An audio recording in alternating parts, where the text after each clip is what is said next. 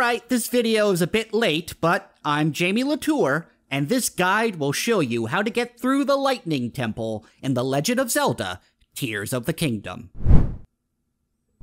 So you made it to Gerudo Town, got Riju and her lightning strikes, and after wandering around the desert, you've made it to the Lightning Temple. Now, while all the previous temples had some tasks that you had to do before you made it to the actual temple, the Lightning Temple requires some work to even make it inside and begin the puzzles. When you make the temple rise, you'll notice a giant Gibdo hive on it. Use Riju's lightning power to shoot an arrow at it to reveal the temple's boss, Queen Gibdo. To get rid of her, use Riju's lightning, which will strip her of her armor. After you've struck her with these arrows a few times, she'll get annoyed and fly away. Take care of the remaining Gibdo hives and head inside the temple. The temple will have piles of sand lying around that can be blown away with a fan or one of these Korok Frond gusters. Get rid of the sand pile close to the closed door of the temple to reveal a button that you can step on to open up the way to the temple. Now continue on and you'll be on floor B1 of the Lightning Temple. Keep going and you'll reach a room where a large part of the floor will fall if you step on it. Beyond that will be some firewalls that you can get by pretty easily if you time it right. Past the fire will be another button that will shut off the fire and open the gate ahead. In the next room, you'll have to deal with giant fireballs, rolling at you Indiana Jones style. To get past these, use recall on them to send them back up the way they came. Once you're past the fireballs, there will be another button that will open up the way and prevent the fireballs from bothering you any further, allowing Riju to pass. Keep on going and you should make it to the Room of Hopeful Light. Kill the tough construct enemy here and then remove the mirror from this pile of sand. Grab the mirror with Ultra Hand and use it to deflect the light onto the panel above the door until it turns green and opens the way forward. And uh, you should get used to this mechanic because you're gonna do it a lot in this temple. Head up the now open path to reach the first floor of the Lightning Temple, otherwise known as the Room of Ascension, where the Lightning Temple actually starts. Touch that familiar Zonai pedestal and you'll see that it should activate a lift, except that it's not powered up because we gotta shoot lightning into four batteries. So, let's find some batteries.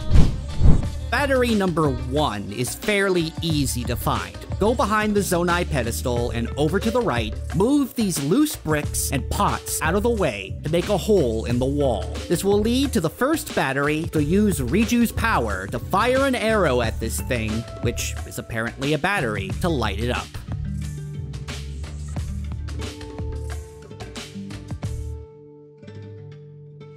Now let's go up the stairs near the Zonai pedestal, all the way up to floor 4. Once you're at the top of the stairs to floor 4, turn around and glide your way over to that opening. There will be another Zonai construct here, so kill that thing. And then you'll see a statue that has one of those panels from before on it, blocked off by bars, and these giant rotating wheels that have like a quarter of them missing, maybe. I don't know, I don't know fractions that well. Use recall to reverse the direction of one of the wheels until its missing part lines up with the other wheel. It should look something like this. Then you'll find more bricks in the wall that you can remove, and a big old shining light will be behind them. Provided that the wheels are lined up, the light will shine through the missing sections and activate the panel on the statue, which will lower the bars and move the statue. At that point, you may be wondering what to do next, and the answer is just to wait for the wheels to spin around again so that light hits another statue across the way. That statue will move, revealing a button. So head over there so you can plop Link upon that button. When you do that, the statue will move. God, that's bright. And down these steps will be this Indiana Jones like contraption. This temple is very Indiana Jonesy. There will be more loose bricks, so jam one in between these spike walls to prevent them from crushing you and continue on to find a button that will deactivate them. There will be another spike wall trap, only this one will vertically crush you instead of horizontally crushing you. Grab another loose brick, and you want to place it the way that I did here for reasons that will soon become clear. Destroy the Zonai constructs on the other side, and in this room, there will be a mirror embedded in a pile of sand. So retrieve that and place it on the platform here, like so. Now walk over here and drop down into the little gap in the floor. Down here, you got a big pillar of light, another mirror stuck in some sand, and a rotating wall that hides one of these panels that we have to light up. Grab the mirror and use it to reflect the light onto the panel, which will open up the shutters blocking out the light above. That light will hit the mirror that we placed previously, which will be able to hit another panel provided that you properly placed the brick earlier. Ascend back up and head into that room to find the second battery. Boy, that one was a lot of work.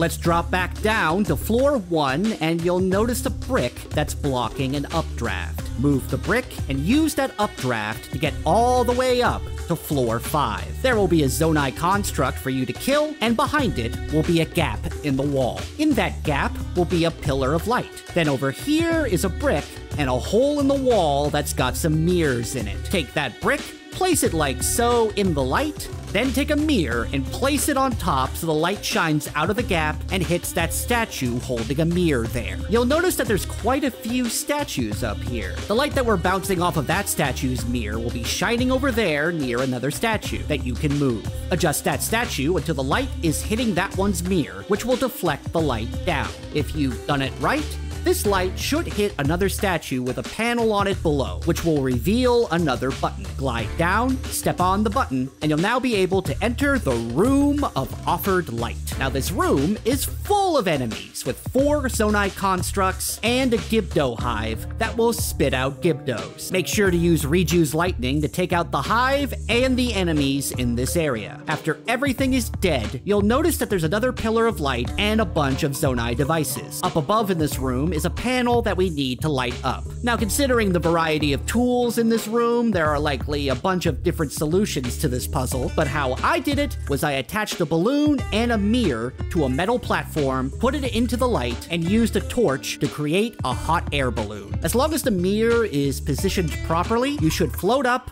and the light should get reflected onto the panel. That will open up the way to the third battery, so light it up with Riju's lightning. Now exit that room and glide over to the updraft so we can get back up to floor 5. Now let's move the first statue that we shined the light on before so the light can hit another statue with a mirror across from it. The light should bounce off of that one towards the last statue that we haven't touched yet. So adjust that statue until the light deflects off of its mirror to hit a panel above. Now if the light doesn't line up properly with the panel, you may have to go back into that gap in the wall and readjust the mirror in the pillar of light. Once the panel is lit up, the statue will move to reveal another button. Use the updraft or ascend through the floor to reach this button. When the statue moves, the path behind it will lead to a drop with a bunch of flames in the way. Slowly glide down to avoid being burned, and there will be the last battery and a button for you to land on at the bottom. Kill any Zonai constructs down here, and once they're taken care of, use Riju's lightning to activate the fourth and final battery. Return to the Zonai pedestal and activate it to be brought up to the boss room, aka the Room of Glorious Light. Much like the entrance to the Lightning Temple, there will be a giant hive for you to shoot with a Riju powered lightning arrow to reveal the boss, Queen Gibdo. This boss is pretty quick and has some annoying attacks to deal with. She's got a charging attack, she can fire a beam of sand at you, and she can generate giant tornadoes. Those are especially annoying because they can knock down Riju, which will interrupt her lightning ability. I really hate that. As you may have guessed, the key to beating Queen Gibdo is to hit her with those aforementioned Riju powered lightning arrows. When you hit her with one, it will strip her of her armor, and if you hit her with another one, it will stun her, leaving her wide open for you to land some attacks on her. When you get her down to about half health, the dormant Gibdo hives in this room will start pumping out Gibdos. To avoid being overwhelmed, you should start taking out these hives immediately with lightning arrows. When you do,